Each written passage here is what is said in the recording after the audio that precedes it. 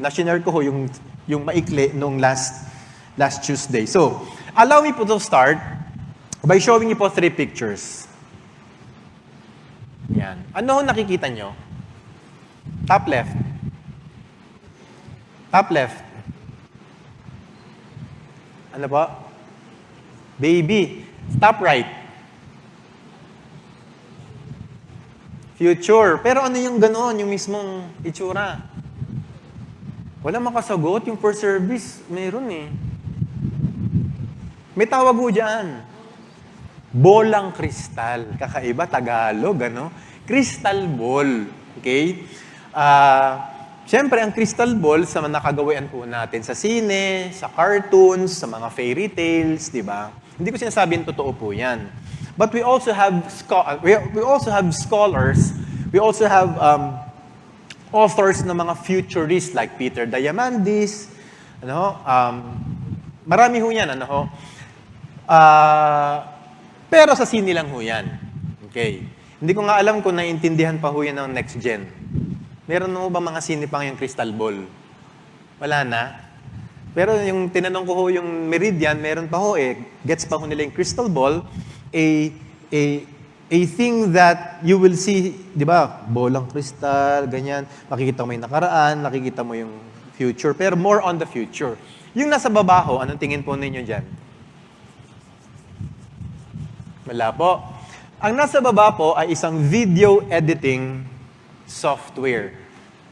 Video editing software. Marami na ho yan sa cellphone ho, di ba? Yung mga CapCut. Gumagawa ho ba kayo nun? Yan. Nagti-TikTok din kayo. Pag ano. Yan. So anyway, sabi ho ng Lord kunyari, dahil ngayon ay magtatapos na ang first half of the year, kahit hindi ka estudyante, parang gagraduate ka na din sa first half of the year. Bibigyan kita ng isang regalo. At tatlong regalo. Una, bibigyan kita ng baby. Sino gusto magka-baby? Ah, ayaw nyo na. So, wala tayong pag-uusapan. Ayaw magka-baby. Ah, di ba? Or apo, pamangkin. Pangalawa, kalakip po ng baby ay crystal ball. Bakit po? Ang crystal ball, makikita mo na yung future ng anak mo o ng pamangkin mo. Maganda ba yun o hindi? Okay din, di ba? Sino sabing gustong okay? Yan. Ang pangatlo, pwede mong i-edit yung makikita mo. Ha? Okay ba? Parang ano kayo? Parang si Coach Dwight meron tong kalokohan. Ano to eh, trap questions to eh. No? Na-imagine nyo, so you would have a baby, o kunyari, ikaw na lang, hindi baby, isa kang adult, bibigyan ka ng Diyos ngayon, graduation gift. Okay? Kahit di ka gumraduate. Kasi nga, ha, ano parang mid-year bonus mo kay Lord. Yan. May crystal ball ka, makikita mo the next 20 years na mangyayari sa'yo, tapos pwede mo i-edit. Okay? Pero balik na lang tayo sa baby. Now, very quickly, makikita po natin yung future ng anak nyo sa crystal ball. At age 9, hospitalized for a week due to dengue fever. At 18, graduated high school at top of class. At 20, you as a parent died and left her alone with her father. Kung ikaw ay tatay, so vice versa, basta magiging single parent, ikaw, so mawawalan ng isang magulang yung anak mo. At 24, naging single parent na yung anak mo. At 29, siya ay nag-asawa na. At 32, nakapublish siya ng isang successful novel. At 33, nalaman ng anak mo na may affair yung husband niya or yung wife niya. At 35, her child of four, hindi pa rin makasalita. At 37, yung second book niya naging bestseller.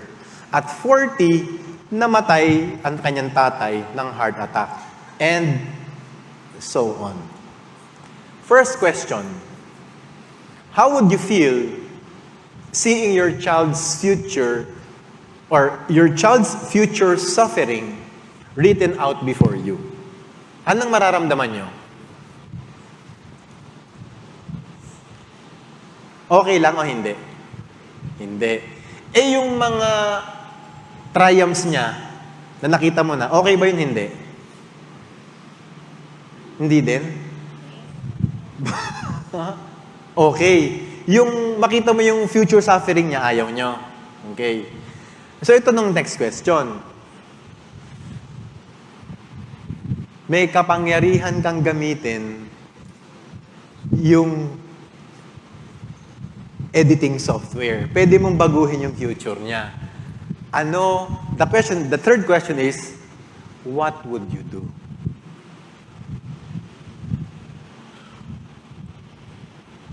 Tatanggalin nyo ba ang suffering o hindi? Hirap, no? Uh, by the way, disclaimer lang ho, madali ho magsalita kasi wala akong anak. okay? Pero, gagamitin ho natin yung nag-aral. Okay?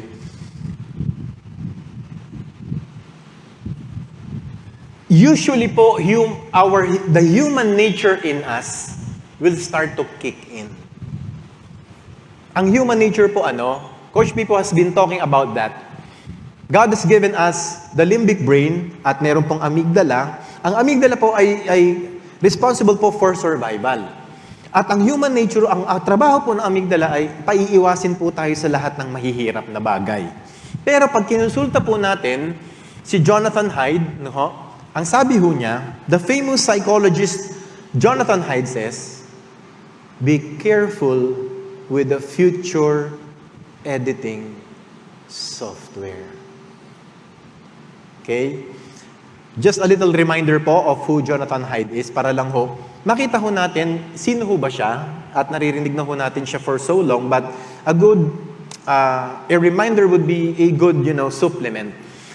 Jonathan David Hyde is an American social psychologist and author. He is the Thomas Cooley Professor of Ethical, Ethical Leadership at the New York University Stern School of Business. His main areas of study are the psychology of morality and moral emotions. Gaano ho siya kagaling? He has been named one of the top global thinkers by Foreign Policy magazine and one of the top world thinkers by Prospect magazine. Saan po siya nag-aral? Yale University. Ang PhD po niya, University of Pennsylvania. Matagal na ho natin siya naririnig kay BLC. He was the author also of, of um, the book, The Cuddling of the American Mind. Pero talagang sobrang galing po niya. Anyway, uh, ina, ganito ang kanya hong research na ho. Na he immersed himself in the three zones of great classical thought. Okay? Pag ikaw daw ay mag-aaral ng malaliman na wisdom, okay? Kaya nga, the great classical thought, no? Saan ka pupunta? Yun po ang pinuntahan po niya. Ang una po ay Mediterranean region, ang pangalawa ho ay India, at pangatlo ho ay China. So inaral po niya ang theology and philosophy ng tatlong great zones po na yon. Kaya even BLC would say na yun yung tatlong po yun. So, inaral po niya yung pinuntahan po niya yung lugar na yon at yun po ang kanya pong naging expertise in connection with psychology. So, at siya po ang ating gagamitin. Makakatulong ba na pa, alisin, alisin natin yung mga mahihirap na pagdadaanan ng bata o kayo to tayo? Ready na ho kayo? Andito ho ako para ma-disappoint kayo sa tanghaling ito at hindi kayo makakain. Okay ba? Ito ho ang sabi ho niya. Siyempre ho, again, bilang nanay, bilang magulang, bilang kapatid, ayaw nating mahirapan. Naku, kawawa naman yung bata, kawawa naman yung tao, ang daming pinagdara, ang daming niyang pagdaraanan. We can refer that as good intentions. Pero tinan niyo po, ang sabi ni Jonathan Hyde, your good intentions could make things worse. If Nietzsche is right, that what doesn't kill you makes you stronger, then the complete erasure of serious adversity from your child's future will leave him or her weak, and underdeveloped. Hindi ako may sabi ho niyan. Si Jonathan Hyde. Pag tinanggal ho daw natin lahat ng adversity, hindi ho lalago ho yung bata. Kaya sabi niya, careful, be careful what you wish for. Be careful of that future editing software. He coined a term uh, called adversity hypothesis. Anong ibig sabihin ho niya? People need adversity, setbacks, and perhaps even trauma. Para saan?